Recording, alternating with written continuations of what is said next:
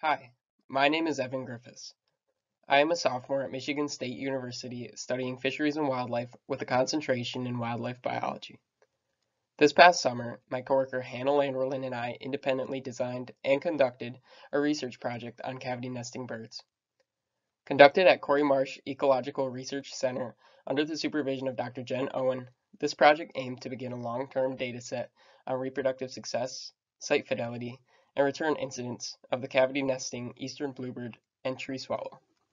These two species were selected because they commonly breed in habitat like that found at Corey Marsh, predominantly open grassland.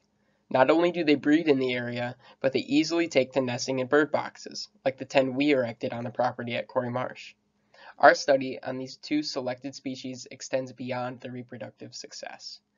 They will be used as indicators for species health among an ecosystem permeated by invasive species. Both species rely on aerial insects found in these open grasslands. Given the land use history prior to the establishment of Corey Marsh Ecological Research Center, the habitat is now dominated by invasive species such as reed canary grass, Phragmites, multiflora rose, and autumn olive. The impact these invasive species have on the bird's foraging habitats, breeding success, and health is unknown. The corresponding effect on the insect community and the diet of the birds also remains unknown.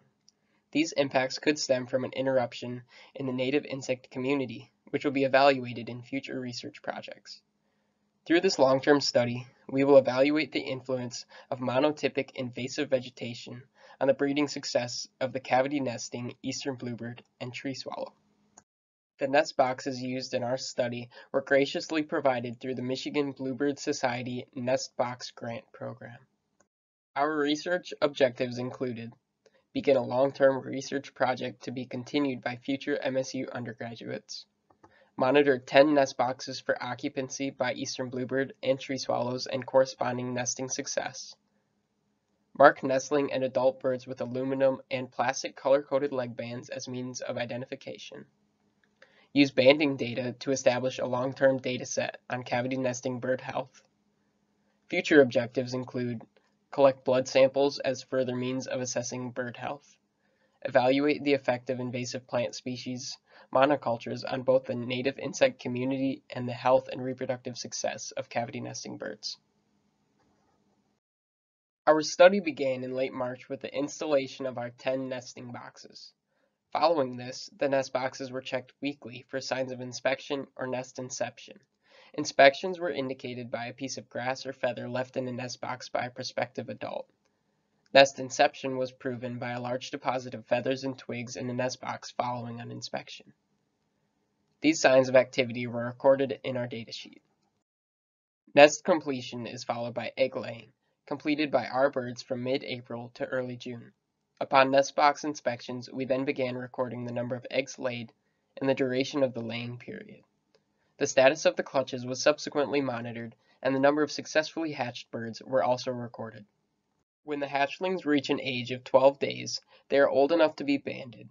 Birds at this age have legs large enough to hold an adult-sized band, yet are not in danger of attempting to fledge prematurely. In the banding process, shown here, our birds were fitted with an official numbered aluminum band provided by the USGS Bird Banding Laboratory. They also receive a green color band, green being chosen to represent all birds hatched in the year 2020. Measurements on each bird are also taken, including wing, leg, and bill length, as well as mass, shown here. This entire process takes about 10 minutes for a clutch, after which they are returned to the nest box. Upon conclusion of our field season, we had successfully banded 8 bluebird nestlings and 30 tree swallow nestlings. This banding and research formed a basis for future fieldwork at the site. Long-term banding and physiological data can be compared to our initial findings and can be used to calculate future changes in cavity nesting bird health and reproductive success. Our research will provide the baseline data needed to assess changes in bird health in response to ecosystem restoration and rehabilitation efforts. These efforts will include the removal of invasive plants and their replacement with native species. Most importantly, this research project has laid the groundwork for future undergraduate MSU researchers to contribute to this long-term study, gaining valuable skills in field-based research, data collection, and analysis. This is especially exciting as the close proximity of Corey Marsh to the MSU campus provides ample opportunity for this research to continue to enhance the experiences and education of MSU students.